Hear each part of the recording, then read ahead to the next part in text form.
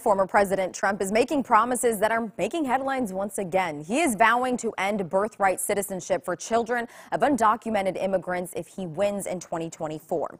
Now, under a decades long interpretation of the Constitution, children born on U.S. soil are U.S. citizens, even if their parents are not themselves citizens or in the country legally.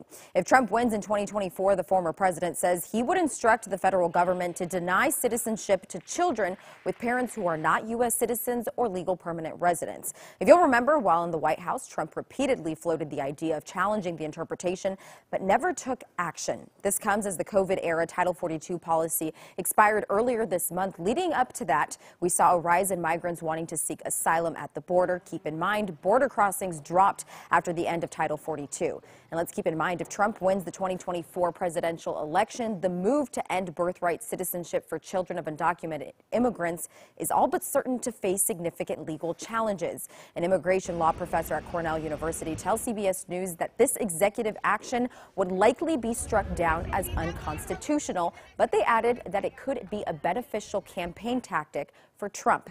This was just one of a few things Trump says he would do. He also vowed to launch the largest immigration roundup and deportation operation in U.S. history. For more stories relating to immigration, you can head to our website, kpix.com.